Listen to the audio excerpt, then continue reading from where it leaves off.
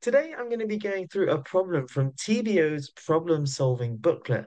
This has a bunch of problems, or 151 to be precise, of mathematics problems which are designed to help students prepare for their undergraduate mathematics interviews. And there are lots of Oxford and Cambridge maths interviews coming up uh, around the corner. And in fact, I've done a few mock interviews on the problem. And as an Oxford graduate, it's something I guess that holds a bit of sentimental value for me. So let me know if you enjoy this video. Um, I'll be keen to make some more problems based off of the problems in this booklet. They seem kind of interesting. Uh, but we'll dive in with this problem. If three positive real numbers a, b, and c satisfy the following equations, show that at least one of them must be 1, and hence deduce all solutions. So three positive numbers and their product is 1. Their sum is 3, as is the sum of the reciprocals of those numbers. Um, now, you could perhaps spot a pretty obvious solution to this system of equations. Um, and, you know, you could maybe make a comment about that and then maybe argue that that could be the only one, or maybe there are other ones as well. But that's something we have to consider. Either there are more solutions or there are none other. I'm going to show you two different ways to solve this problem.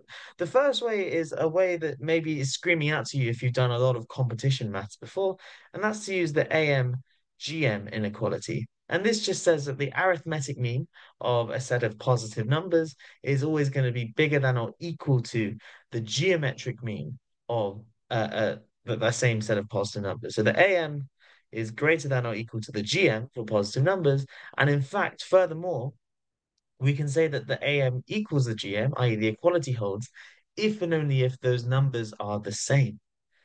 Okay, so what? How do we use this here? Well, let's just use A, B, and C, which are positive numbers. Let's look at what their arithmetic mean is. That's just A plus B plus C divided by 3, but A plus B plus C is 3, divided by 3 is 1. What about the geometric mean? Well, that's going to be the cube root of ABC, and ABC conveniently is 1, so this is the cube root of 1, which is 1. And now, notice that the AM equals the GM and so therefore these three numbers, A, B, and C, have to be the same according to the AMGM inequality. So A equals B equals C, and then you can just sub that into here and see that they all must therefore be one. And that kind of solves our problem. We prove that the only solution to this is the trivial solution, namely A equals B equals C equals one. And we didn't even really need to use this reciprocal rule here. Okay, but that kind of requires us to to know the AMGM inequality, and maybe you don't know about it, maybe you've not heard of it before, maybe you can't quite remember what it is. Um, and the fact that they've given us this bit of information as well suggests that the intended solution may require us to use this. And in fact, there's an alternative solution that we can do as well, which I'll propose now. So the second solution is more using a cubic function and Vieta's formulae. I can see here that we have the product of the, the three numbers, and here I have the sum of the three numbers. And this may make you think of Vieta's formulae. And in fact, now we are going to use this fact here. So let me just actually rewrite this, uh, just making a common denominator here. This is AB plus BC plus CA over ABC. But since ABC is just one, this is AB plus BC plus CA, uh, and that equals 3. Okay, now what I'm going to do is consider this function f of x. And f of x is going to be a cubic. It's going to be x minus a times x minus b times x minus c, like so. And for the time being, we don't know what a, b, and c are.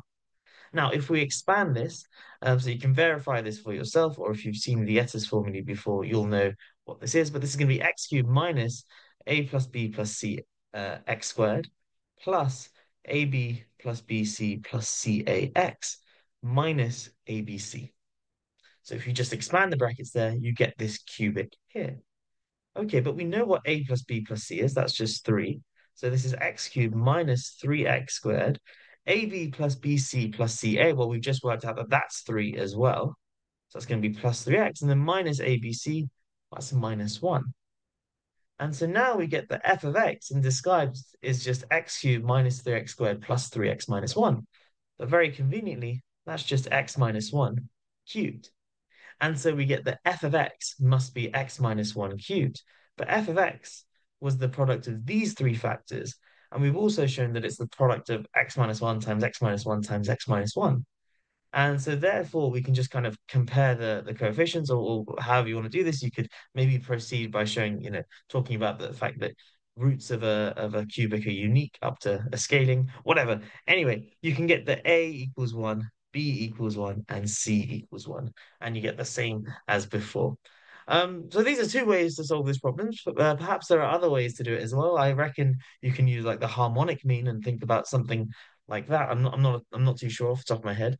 Um, but we will finish the video there. Let me know in the comments down below if you can think of any other solutions to this, and uh, do let me know if you want to see some more problems from this problem set. I quite enjoy them. Uh, thanks so much for watching. If you have got interviews, good luck with them, and I'll catch you in the next one.